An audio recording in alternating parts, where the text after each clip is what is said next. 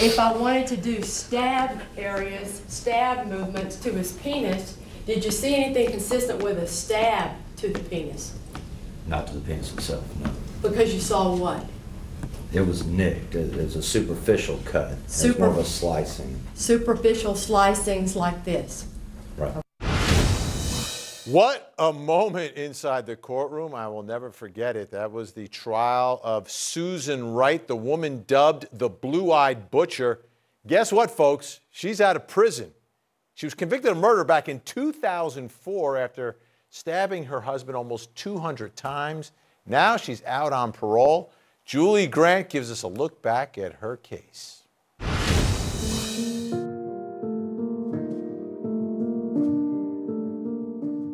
Was terrified. That is the only feeling that I felt was that I was absolutely terrified.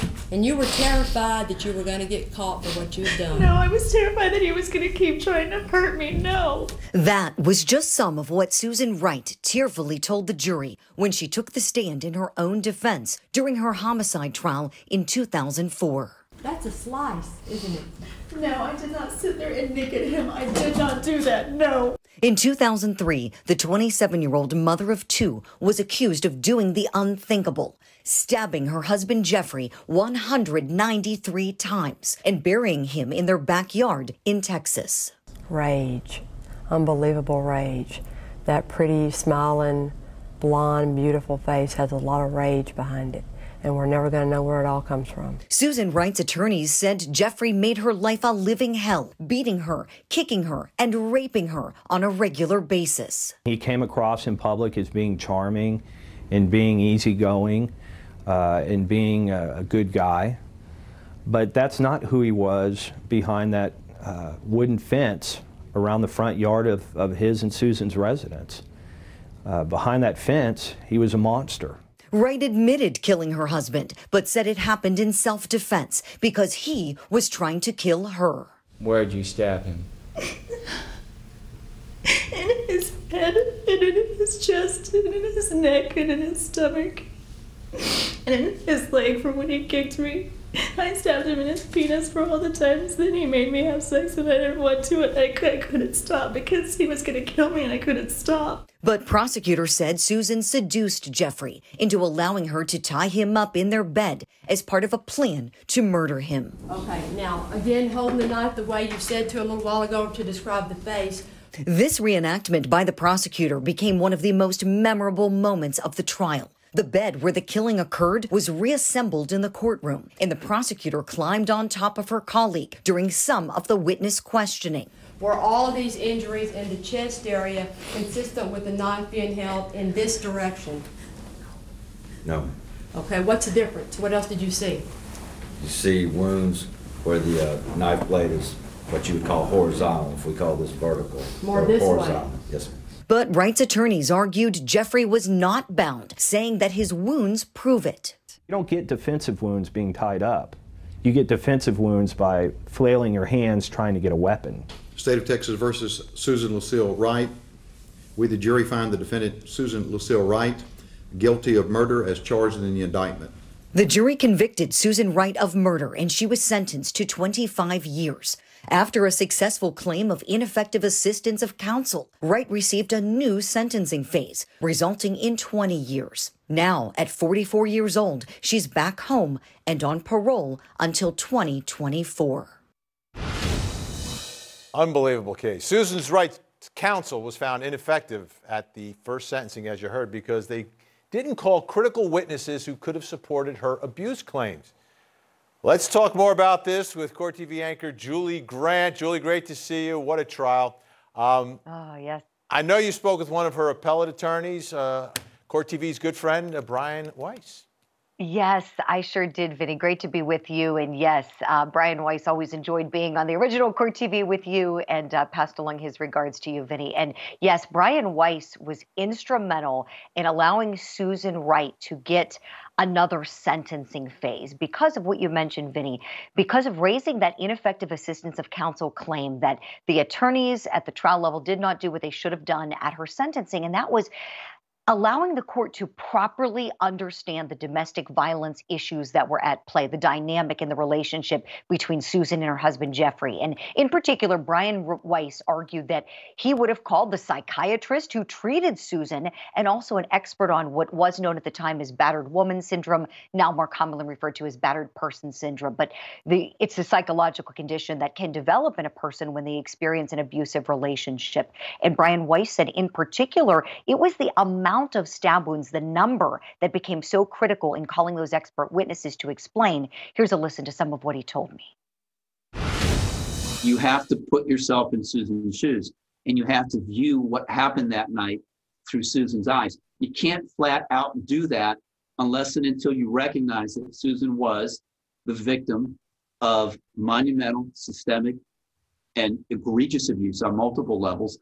And once you see how she acted and reacted, and once you can see what a psychiatrist tells you in terms of, of walking the walk and talking the talk, but if you have a legitimate expert in mental health who can set this to music, then you can begin to understand what motivated, what animated, what drove Susan Wright that.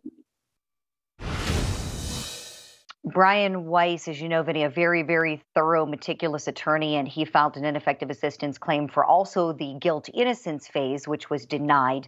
Uh, the sentencing phase is where it was ultimately granted, and she had that reduction in the number of years in the end. And he also filed a direct appeal as well, Vinnie, as you know. Now, the demonstration in the courtroom where they brought in the bed and the prosecutor um, gets on the bed, gets on top of her colleague who is, I guess, tied up to the bed. Very controversial at the time. Judge allowed it. Um, but this was a, a, an issue on a, uh, one of the issues on appeal. It certainly was, Vinnie. This is a big one that Brian Wice raised. And the trial lawyers at the time uh, they did right by their client. They did object to this at the time on the basis of speculation, that it's speculative, that she couldn't have known how exactly Susan Wright did that stabbing, nor could those witnesses that she was questioning there that you see behind her. And so the judge ultimately overruled it. As we know, the bed, it was all assembled in the courtroom. And as I said, this was pursued on direct appeal. So here's a listen now to some more of what Brian Wice told me about that not only was this something that, that Kelly Siegler seemed to be making up as she went along, something that she had created from whole cloth, but at the other end is that it was so unduly prejudicial that whatever probative effect, whatever value the jury might have been able to glean from it was far, far outweighed by the specter of unfair prejudice. And there is no way that, that anybody could have ever gotten that indelible, monumentally prejudicial image out of a juror's head of, of Kelly Siegler mounting uh, her fellow prosecutor and, and essentially uh, channeling Norman Bates in Psycho. It was just, it was wrong then. It's wrong now. Obviously, uh, the Court of Appeals and the Court of Criminal Appeals disagreed.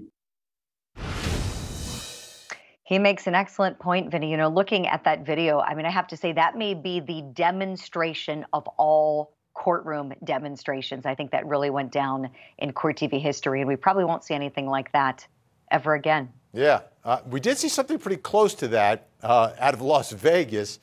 Margaret Rudin, the Black Widow, they also brought the bedroom into the well of the courtroom. It wasn't quite as wow. dramatic as that moment, but and it, it, happened within a few years of each other, and it was like, wow, uh, this is unbelievable uh, what lawyers are doing to try to, you know, bring the case to life. Um, right. Brian Wice also talked about domestic violence and, and being such a big issue here. Let's, t- let's take a listen to what he told you. It was emotional, it was physical, it was sexual, it was systemic, it was unconscionable, and it was egregious. And I, I hope on some level that, that Jeff's family has obtained closure with what happened to him. And but at the end of the day, the, you know, the truth, particularly in the criminal justice system, Julie, is seldom simple and never easy. And and the simple, difficult truth was that Jeff Wright was a bad guy. And and Jeff Wright on that night became a clear and present danger to Susan. When I called one of our two experts on battered women syndrome. And I said, look, the judge wants to know, and the jury probably wanted to know, why didn't Susan just leave and get a protective order? And the expert looked at me and said, protective orders, hmm, bullets go right through them. You know, um, in this case, I mean, prosecutors made the argument that this was made up, this domestic violence. It didn't exist. It, it just appeared as part of the defense in this case. And she testified, right? So she gave a firsthand account from her perspective about what happened. Right, correct, Vinnie. She sure did, and that was something I talked with Brian Wice in depth uh, about, and was her story. And he said, you know, I lived this case for six years. I lived it. He did pro bono work on the case, and he said, I am telling you, she was a victim. And domestic violence is one of those topics that's very hard to understand. It's very tricky. It's a tough topic to talk about, even to this day. I mean, we're fast forwarding so many years from the time that that trial took place. But yes, he said that was why it was so critical to understand what she was experiencing and how this killing took place. For anyone to just wrap their mind around how someone could stab their husband 193 times, she told the jury it was in self defense that he was trying to kill her and that she managed to wrestle the knife away from him. And after all of the beating and the kicking and the raping that took place throughout their marriage, she had reached her breaking point. And so it's really a sad story and the facts on the on its face don't always tell the full story and you know that Vinnie and once we get to the trial you really and truly see both sides as we did in this case Absolutely. And she is free tonight. Julie Grant, thank you so much. Appreciate it. thank you Vinnie